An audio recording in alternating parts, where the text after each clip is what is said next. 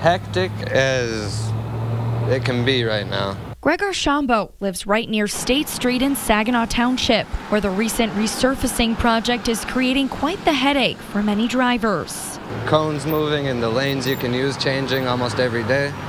Super hectic.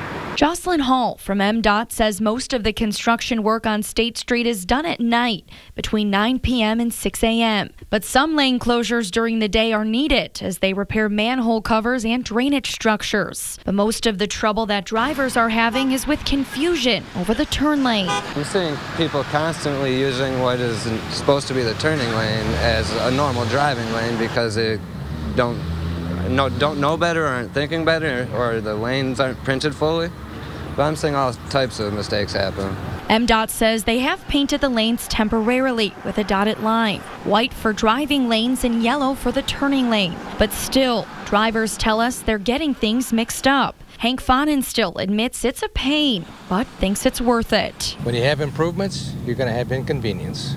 We're told that the construction here on State Street is supposed to be completed by July 12th, but for many drivers, that's not soon enough. That's when it's supposed to end? Yeah, July 12th. I thought it was going to end in a couple of days. It's a long time. It's over a month. It's not good news. Kate Nadolski, WNEM, TV5.